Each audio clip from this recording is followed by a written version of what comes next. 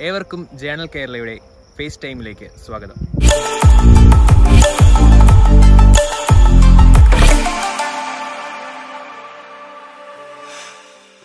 ഇന്ന് നമ്മുടെ കൂടെ ഉള്ളതൊരു വിശിഷ്ടമായ ഒരു വ്യക്തിയാണ്. നമ്മുടെ നാട്ടിലും നാട്ടുകാർക്കും നാടിന് പുറമെ കേരളത്തിലെ ഒരുവിധം എല്ലാ യുവാക്കൾക്കും അറിയുന്ന ഒരു പേരിനുടമയാണ് ഇന്ന് എന്റെ കൂടെ ഉള്ളത്. വേറെ ആരുമല്ല നമ്മുടെ സ്വന്തം ബാസിത് കുളത്തൂർ.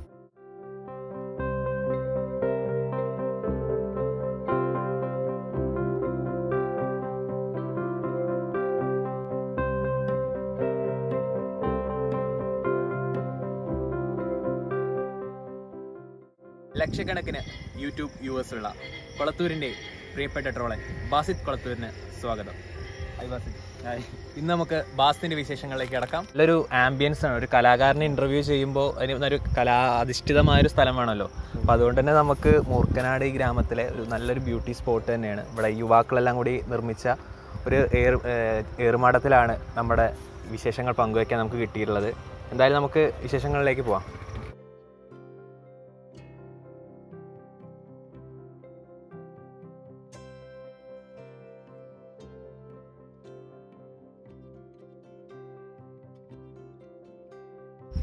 എങ്ങനെയാണ് ഈ ട്രോൾ എന്നുള്ള ഈ നിലയിലേക്ക് വരാൻ കാരണം? അതായത് നമ്മളിപ്പോൾ ഒരു യൂട്യൂബ് ചാനൽ തുടങ്ങുകയാണെങ്കിൽ ഇപ്പോൾ പലതരത്തിലുള്ള യൂട്യൂബ് ചാനലുണ്ട് ഫുഡ് ബ്ലോഗിംഗ് ഉണ്ട് ട്രാവലോഗ് ഉണ്ട്.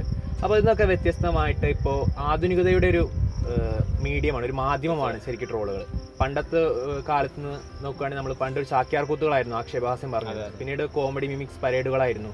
പിന്നെ സിനിമകളിൽ വന്നിട്ടുണ്ടായിരുന്നു. അതിനൊക്കെ ഉപരിയായിട്ട് ഇപ്പോൾ നമ്മളുടെ ഇപ്പോൾ ന്യൂ ജനറേഷൻ യുവാക്കൾ ഏറ്റവും കൂടുതൽ ഏറ്റവും കൂടുതൽ അനുകരിക്കുന്നതും ഏറ്റവും കൂടുതൽ സപ്പോർട്ട് ചെയ്യുന്നതുമാണ് ട്രോൾ മേഖല.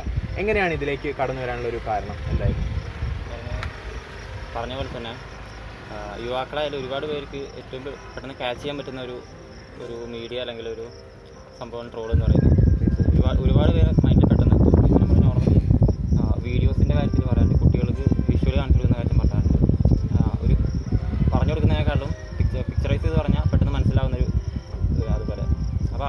ഭയങ്കര എന്റർടൈൻ ആയിട്ട് ഒരു സംഭവം പറഞ്ഞു കൊടുത്താൽ അത് എത്ര സീരിയസ് ആയ കാര്യമാണെങ്കിലും അവർ പെട്ടെന്ന് മനസ്സിലാക്കാനും അത് ഒരുപാട് പേര് എത്തിക്കാനും പറ്റുന്ന ഒരു മീഡിയയാണ് തീർച്ചയായിട്ടും ട്രോൾ എന്ന് പറയുന്നത്. അപ്പോൾ അതുകൊണ്ട് തന്നെ ബാസത്ത് ട്രോൾ തിരഞ്ഞെടുത്ത് വെറും ഒരു എന്റർടൈൻമെന്റ് മാത്രമായിട്ടില്ല ഒരു സാമൂഹ്യ പ്രതിബദ്ധത കൂടി കിട്ടാണ് അല്ലേ? തീർച്ചയായിട്ടും തീർച്ചയായിട്ടും. കാരണം- ഇത് ഒരു എന്റർടൈൻമെന്റ് ഒരു ഇതിനു വേണ്ടി മാത്രമല്ല ചെയ്തിട്ടുള്ളത്. ഇപ്പോൾ പല സോഷ്യൽ റെലവന്റ് ആയ ഒരുപാട് ഇഷ്യൂസ് നമ്മൾ ട്രോൾ ചെയ്തിട്ടുണ്ട് ആ, നമ്മുടെ നാട്ടിൽ നടക്കുന്ന ഒരുപാട് കാര്യങ്ങൾ ഇതെല്ലാം ചെയ്തിട്ടുണ്ട് ആഹ് തീർച്ചയായിട്ടും നിങ്ങളെപ്പോലുള്ള ഈ ട്രോളന്മാർ നമ്മുടെ ഈ സമൂഹത്തിന് ചെയ്യുന്ന സംഭാവന ചെറുതൊന്നുമല്ല കാരണം ഒരുപാട് നിരവധി പ്രശ്നങ്ങൾ നാടിന്റെ സാമൂഹ്യമായ സാമൂഹികമായ കാര്യങ്ങളെല്ലാം പല സമൂഹ മാധ്യമങ്ങളുടെ പു- പുറമെ ദൃശ്യമാധ്യമങ്ങൾ ഇന്ന് ടെലികാസ്റ്റ് ചെയ്യാൻ മടിക്കുന്നുണ്ട്. പക്ഷെ അതൊക്കെ ഈ ട്രോളേഴ്സ് കൊണ്ടുവന്ന് പൊതു സമൂഹത്തിലെത്തിച്ച് അതിന് ഒരുപാട് ഒരുപാട് എന്താ പറയുക മാറ്റങ്ങൾ കൊണ്ടുവരാൻ കഴിഞ്ഞിട്ടുണ്ട്. തീർച്ചയായും. ഇപ്പം ഈ പറഞ്ഞ പോലെ തന്നെ മീഡിയാസ് എന്ന് പറയുമ്പോൾ ഒരുപാട് ആ, എനിക്ക് തോന്നുന്നു മീഡിയാസ് എന്ന് പറയുന്നത് ഒരുപാട് ലിമിറ്റേഷൻസ് ഉള്ള ഒരു മീഡിയ എനിക്ക് പലപ്പോഴും തോന്നിയിട്ടുണ്ട്. ഇവർക്ക് ഇന്ന് ഒരുപാട് കാര്യങ്ങൾ ഇന്ന ഒരു ലിമിറ്റിനപ്പുറം പറയാൻ പാടില്ല അല്ലെങ്കിൽ പറ്റില്ല എന്നൊരു സിറ്റുവേഷൻ ഉണ്ട്. നമുക്കിപ്പം നമ്മൾ സ്വന്തമായിട്ട് നടത്തുന്ന നമ്മുടെ സ്വന്തം ട്രോൾ ചാനലിൽ നമുക്ക് സാധാരണക്കാരൻ എന്താണ് പറയാൻ പറയേണ്ടതെന്ന് നമുക്ക് സ്വന്തമായിട്ട് പറയാം. നമുക്ക് ഒരു സ്വാതന്ത്ര്യമുണ്ട് അവിടെ അല്ലേ? നമ്മുടെ ഈ യൂട്യൂബ് ചാനൽ എത്ര കാലമായി സ്റ്റാർട്ട് ചെയ്തിട്ട്? അതുപോലെ തന്നെ എനിക്ക് ചോദിക്കാനുള്ളതെന്ന് വെച്ചാൽ ഈ യൂട്യൂബ് ചാനൽ തുടങ്ങിയാൽ തന്നെ. ഇപ്പം നമ്മൾ ഒട്ടനവധി യൂട്യൂബ് ചാനൽ എന്റെ പേരിൽ ഒരു യൂട്യൂബ് ചാനൽ ഉണ്ട്. പക്ഷെ ആർക്കും അറിയില്ല. ഒരു യൂട്യൂബ് ചാനൽ വന്ന് അത് റൺ ചെയ്ത് ഒന്ന് നാല് പേര് അറിഞ്ഞൊന്ന് ക്ലിക്ക് ആവാൻ കുറച്ച് കാലഘട്ടം നമ്മൾ എന്തെങ്കിലും ഒരു ടേണിംഗ് പോയിന്റ് ആയിട്ട് എന്തെങ്കിലും ഒരു ഈ ഒരു ഇൻസിഡന്റ് ഉണ്ടാവും. ബാസ്റ്റിന്റെ ട്രോൾ ലൈഫിൽ എങ്ങനെയായിരുന്നു? യൂട്യൂബ് ചാനൽ തുടങ്ങാൻ കാരണം വീഡിയോ ട്രോൾസ് എന്ന കൺസെപ്റ്റിലോട്ട് വരാ അത് കുറച്ച് കാലം മുമ്പ് വരെ ഉണ്ടായിരുന്നില്ലായിരുന്നു. ഒരു നാല് വർഷം മുമ്പ് ഇങ്ങനെ കൺസെപ്റ്റ് ഉണ്ടായിട്ടില്ലായിരുന്നു. ട്രോളുകൾ എന്നൊരു കൺസെപ്റ്റ് ഉണ്ടായിരുന്നു. അതായത് ഫോട്ടോ വെച്ചിട്ട് പിക്ചർ ട്രോൾസ് അതായിരുന്നു ഉണ്ടായിരുന്നത്. അപ്പം നമ്മളെല്ലാം അത് ചെയ്തു വന്നതാണ്. ഇത് ഇതായിരുന്നു ആദ്യം ചെയ്തുകൊണ്ടിരുന്നത്. അപ്പോൾ ഇത് ചെയ്യുമ്പം അതിനകത്ത് നമ്മൾ പ്രോഫിറ്റോ അങ്ങനെ സംഭവങ്ങളൊന്നും ഇല്ല ഒരു കണ്ടന്റ് ഏറ്റവും ലളിത ചെറിയൊരു രൂപത്തിൽ ആളുകൾക്ക് എത്തിക്കാൻ പറ്റിയ ഒരു നല്ല സംഭവമാണ്. അതിൽ നിന്ന് ഒരു ഇത് ഇത് വന്നിട്ടാണ് മാറ്റം വന്നിട്ടാണ് നമ്മൾ വീഡിയോ ട്രോൾസ് ചെയ്യാൻ തുടങ്ങിയത്. ഇത് നോർമലായിട്ട് ഫേസ്ബുക്കിലാണ് ആദ്യം ഇട്ടിരുന്നത്. ഫേസ്ബുക്കുകളിലായിരുന്നു കാരണം ആക്റ്റീവ് ആയ ഒരു പ്ലാറ്റ്ഫോം ഫേസ്ബുക്ക് ആയിരുന്നു സോഷ്യലി ആക്റ്റീവ് ആയത് യൂട്യൂബ് അന്ന് പല ഇതിൽ ഉപയോഗിച്ചിരുന്നത് ഷോർട്ട് ഫിലിം സംഭവത്തിനൊക്കെ ആയിരുന്നു.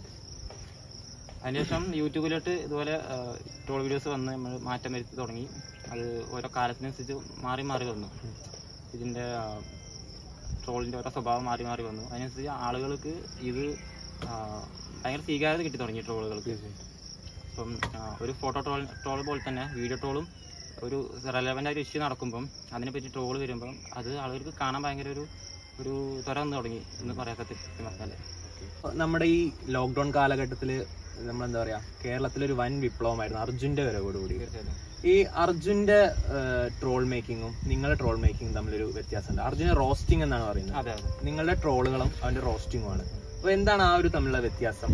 എങ്ങനെയാണ് ഇതിന് നോക്കിക്കാണുന്നത് രണ്ടും? സിമ്പിളായി പറയാന്നുണ്ടെങ്കിൽ അർജു ക്യാമറക്ക് മുമ്പിൽ വന്നിൽ മുമ്പിൽ വന്നിട്ട് മുഖം കാണിച്ച് ട്രോൾ ചെയ്യുന്നു. നമ്മൾ ബാക്കിൽ ഇരുന്ന് ട്രോൾ ചെയ്യുന്നു. അതാണ്. അതായത് ഇപ്പം നമ്മൾ ചെയ്യുന്നെന്ന് പറയുന്നത് കാണുന്ന പോലെ തന്നെ ഫിലിം ക്ലിപ്പ് ക്ലിപ്പുകൾ യൂസ് യൂസ് ചെയ്തിട്ട് ഒരു ഒരു താളത്തിലാക്കുന്നു. അതാണ് മെയിനായിട്ട് ചെയ്യുന്നത്. ഏതെങ്കിലും ക്ലിപ്പുകൾ എടുത്ത് apt അനുയോജ്യമായ ക്ലിപ്പുകൾ കണ്ടുപിടിക്കുന്നു ചെയ്യുന്നു.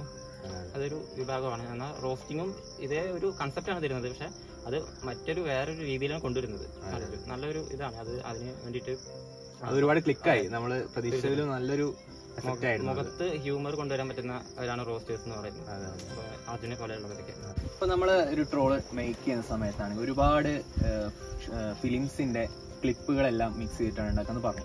അപ്പൊ എങ്ങനെയാണ് ഇത്രയും മൂവീസ് ഇത്രയും ഒരു കളക്ഷൻ ഉണ്ടായത് എങ്ങനെയാണ്? യൂട്യൂബിൽ നിന്നാണോ? അതോ ഈ സ്വന്തമായിട്ട് കളക്ഷൻ ഉണ്ടോ? പിന്നെ അതുപോലെ തന്നെ ഇപ്പൊ നമ്മളൊരു സിനിമ കണ്ടുകൊണ്ട് ഒരു പുതിയ സിനിമ കണ്ടുകൊണ്ടിരിക്കുകയാണെങ്കിൽ അത് ഇങ്ങനെ ആ ഒരു ഇഷ്യൂ അതൊരു കോമഡി ഒരു കോമിക് എലമെന്റ് അതിൽ കണ്ടുപിടിക്കാൻ ആദ്യം തന്നെ കഴിയുമോ?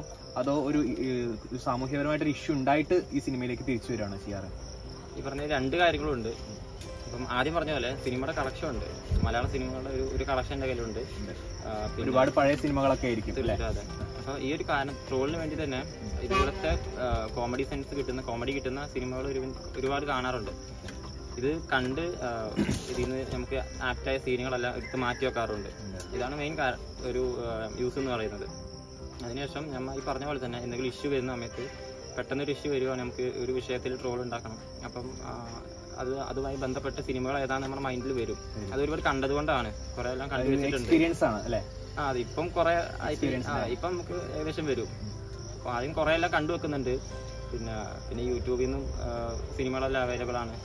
അങ്ങനെ എല്ലാം എടുക്കുന്നു. അപ്പോ ഇപ്പൊ നമ്മൾ എലക്ഷൻ ഒക്കെ വരികയാണല്ലോ. ഇപ്പൊ ഞാൻ ബാസ്റ്റിന്റെ ട്രോൾ പേജ് എടുത്തു നോക്കിയപ്പോൾ യൂട്യൂബിലെ ചാനൽ എടുത്തു നോക്കിയപ്പോൾ ഒരു ഒട്ടുമിക്ക ട്രോളുകളും വന്നിരിക്കുന്നത് ഒരു പൊളിറ്റിക്കൽ ഇഷ്യൂസും ബേസ് ചെയ്തിട്ടാണ്. രാഷ്ട്രീയപരമായിട്ട് പ്രതികരിക്കുകയാണ്.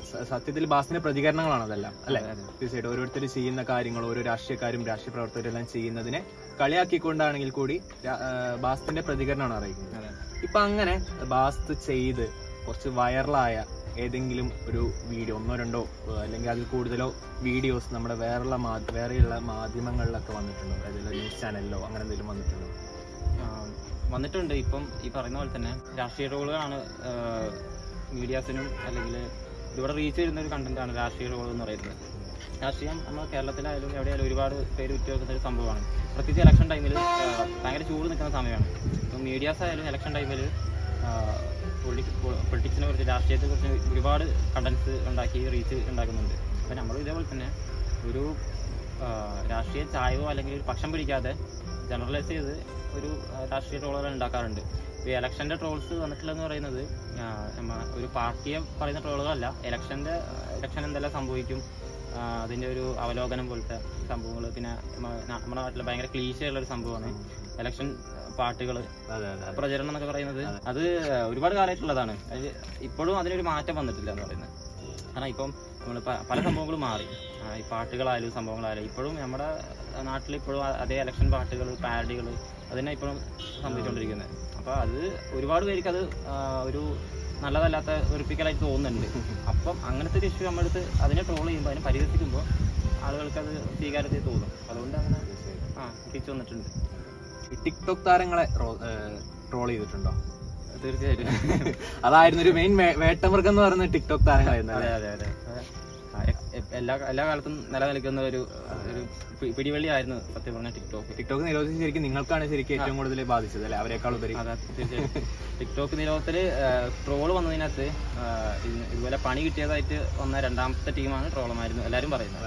കാരണം നമ്മുടെ ഒരു ഇപ്പൊ വേറെ എന്ത് കണ്ടന്റ് നിങ്ങൾ അന്നം മുടക്കിയായി പോയി ശരിക്കും ടിക്ടോക്ക് ഇതായപ്പോ അല്ലെ? ടിക്ടോക്ക് നിരോധിച്ചപ്പോ. തീർച്ചയായിട്ടും ഇപ്പം വേറെ എന്തെങ്കിലും കണ്ടന്റ് ഇല്ലെങ്കിൽ തന്നെ നമ്മ നോർമലായി ടിക്ടോക്കിനകത്ത് കയറും അവിടെ ഇഷ്ടംപോലെ കണ്ടന്റുകളായിരിക്കും. പോലെ ഉണ്ട് കണ്ടന്റുകളാണ് അവിടെ മൊത്തം ഉള്ളത്.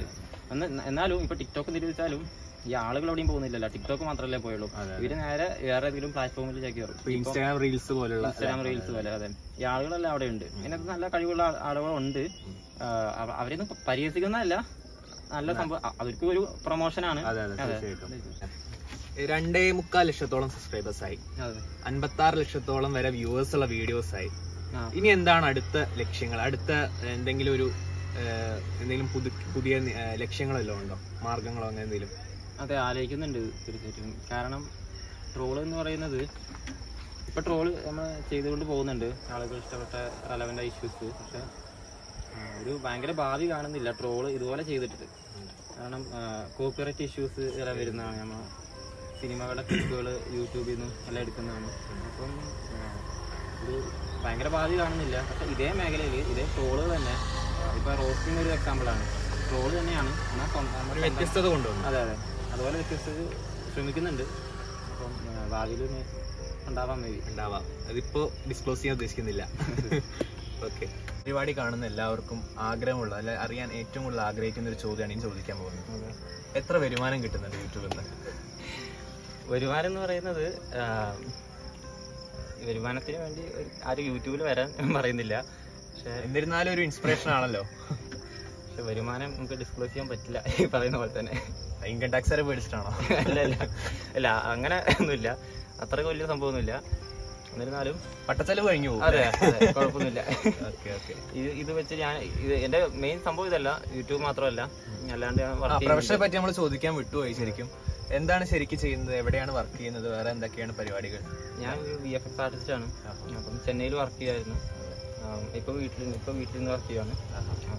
Work from work from home ആയിട്ട് അങ്ങനെ ഇരിക്കുവാണ്.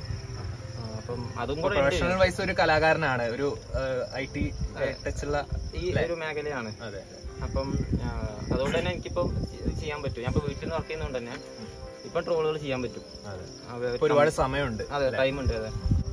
നമ്മൾ ട്രോൾ ഒരാളെ ട്രോളുമ്പോ പക്ഷെ എല്ലാവരും ഒരേ സെൻസിൽ എടുത്തോളണമെന്നില്ല. അല്ലെ? ചിലപ്പോൾ അവർക്കൊരു വിഷമമായിരിക്കും ചിലപ്പോൾ ഒരു ദേഷ്യപ്പെട്ടിരിക്കാം. അങ്ങനെ ബാസ്തിന്റെ ഈ ട്രോൾ ലൈഫിൽ എന്തെങ്കിലും കടുത്ത ഭീഷണികളോ വിമർശനങ്ങളോ അങ്ങനെ എല്ലാം ഉണ്ടായിട്ടുണ്ടോ?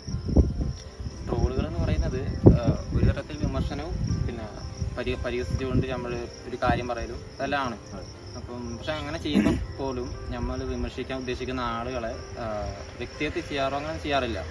അങ്ങനത്തെ ചെയ്യുന്ന ഞാൻ- ഇത് നമ്മൾ സംസാരിക്കുന്നതല്ലല്ലോ നമ്മൾ മൂവി ക്ലിപ്സ് ഇടുന്നതാണല്ലോ അങ്ങനത്തെ സീനുകൾ നമ്മൾ മാക്സിമം ഒഴിവാക്കാറുണ്ട്. വ്യക്തിഗത ചെയ്യാതെയാണ് എല്ലാം ചെയ്യുന്നത്. എന്നാലും വിമർശനങ്ങളെല്ലാം വരാറുണ്ട്. എങ്ങനെ ചെയ്താലും വിമർശനം വരും. പ്രത്യേകിച്ച് രാഷ്ട്രീയത്തിൽ വിമർശനം ഒരുപാട് വരും. ആ തീർച്ചയായും രാഷ്ട്രീയം അതുപോലെ തന്നെ സോഷ്യലി റെലവന്റ് ആയ ഒരു രണ്ട് വിഭാഗം ചേർന്ന് നിൽക്കുന്ന ഒരു ഇഷ്യൂവിന്റെ പേരിൽ ട്രോൾ ചെയ്യുമ്പോൾ വിമർശനം വരും. ഇതെല്ലാം വരുന്ന അറിയുന്നതുകൊണ്ട് തന്നെ സ്വാഭാവികമാണ്. നമ്മുടെ ജോലിയുടെ ഭാഗമായിട്ട് കണ്ടാൽ മതി സ്വാഭാവികമാണ്. കാരണം ഒരു വിഷയം എന്ന് പറയുന്നത് എല്ലാ വിഷയത്തിനും ഒരു രണ്ടോ അല്ലെങ്കിൽ മൂന്നോ വിഭാഗം ആളുകളുണ്ടാവും. വേറെ വേറെ ആളുകളുണ്ടാവും. സോ ഉണ്ട്. വിമർശനങ്ങളെല്ലാം വന്നിട്ടുണ്ട്. ചിലപ്പോഴെല്ലാം വേറെ മെസ്സേജ് അയക്കാറുണ്ട് പലരും. നിറഞ്ഞു നിൽക്കുന്ന സദസ്സിന് മുന്നിൽ കോമഡി സ്കിറ്റ് അവതരിപ്പിക്കാനുള്ള ഉപരി.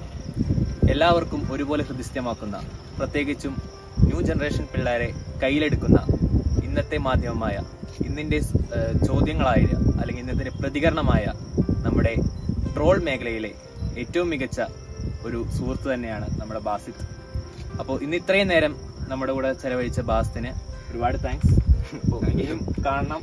ഇനി ഒരുപാട് ഒരുപാട് റോളുകൾ ഉണ്ടാവട്ടെ. ഒരു നല്ലൊരു ഭാവി ആശംസിക്കുന്നു. ഇവിടെ പ്രൊഫഷണൽ ജീവിതത്തിൽ എല്ലാ ആശംസകളും നേരുന്നു. Thank you